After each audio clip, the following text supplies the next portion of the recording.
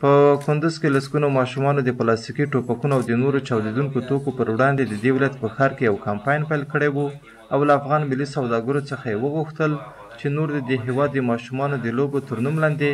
جنگي وسایل نه واردوي او د هغه پر ځای دې دوی ته قلم او کتابچې وارد کړي دغو ماشومانو همداراز له امنیتي ځواکونو څخه وغوښتل چې په بازار کې د پلاستیکي ټوپکونو او پټاقیو د پلورلو مخه ونیسي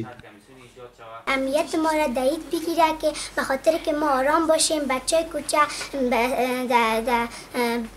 پشوری ما پتاقین اندازه ما را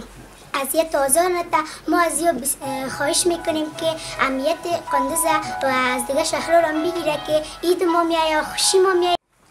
بلخوا د کندز د امنیه قوماندان جنرال عبدالحمید حمیدي د ماشومانو له دې کمپاین څخه یې خپل ملاتړ اعلان کړ او د کندز ښار دوکاندارانو ته یې خبرداری ورکړ چې د پلاستیکي ټوپکونو له پلورلو او پیرودلو څخه ډډه وکړي. ما رسما به همه عوضات امنیتی و قطعات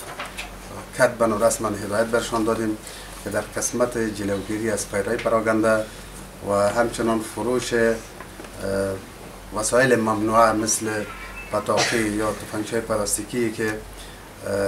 جزی که ضررش به مردم برسه منفعتی از این ناحیه نداره برشان هدایت دادیم که از جلوگیری بکنه د یادونې وړ ده چې په تیرو اخترونو کې د هوایي ډزو له کبله د کندز په مرکز او ولسوالیو کې ګڼ شمیر خلکو ته مرګ ژوبله اوښتې وه او د دې ترڅنګ ماشومانو له پلاستیکي ټوپکونو او له نورو چاودیدونکو توکو څخه د ګټه اخیستنې پر مهال یو شمېر نور ماشومان یې ټپیان او ان ړانده کړي وو، چې دې مسئلې د اخترونو په ورځو کې خلکو ته سختې اندېښنې زېږولې وې.